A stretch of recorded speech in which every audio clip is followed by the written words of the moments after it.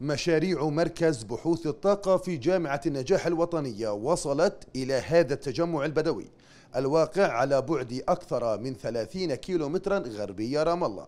لإضاءة عشرة منازل بتركيب أنظمة الخلايا الشمسية المعتمدة لدى الجامعة منذ أكثر من 12 عاما. طبعا استفدنا. في عشر عائلات كانوا بدون آه، إنارة لا كان في ضوء ولا كان في آه، على العتم يعني كانوا.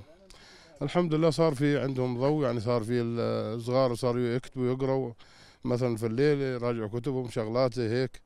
آه، الحمد لله صار في يعني نارة كويسة. فمشكورين كل من قام على هذا المشروع نشكرهم كلهم واحد واحد.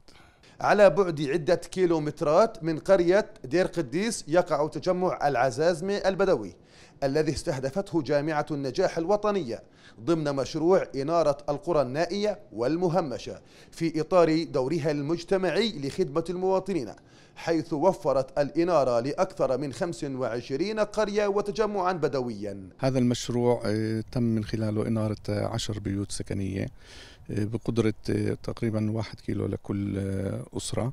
وطبعا هذا مثل هذه المشاريع تساعد على ثبات هذه المواطنين في هذه الأرض. وإحنا في جامعة النجاح يعني عدا عن الأهداف الأكاديمية التي تقوم بها الجامعة أيضا يعني أحد الأهداف تقوم بها الجامعة هي خدمة المجتمع المحلي. فمن خلال المراكز العلمية ومن خلال مركز بحوث الطاقة نقوم بتنفيذ مثل هذه المشاريع. سكان هذا التجمع البدوي النائي والمهمش بدأوا منذ اليوم الحصول على التيار الكهربائي المجاني. وبالتالي فإن أطفالهم سيتمكنون من الدراسة على نور الكهرباء للشموع وباتوا يستطيعون متابعة التلفاز وتصفح مواقع التواصل الاجتماعي.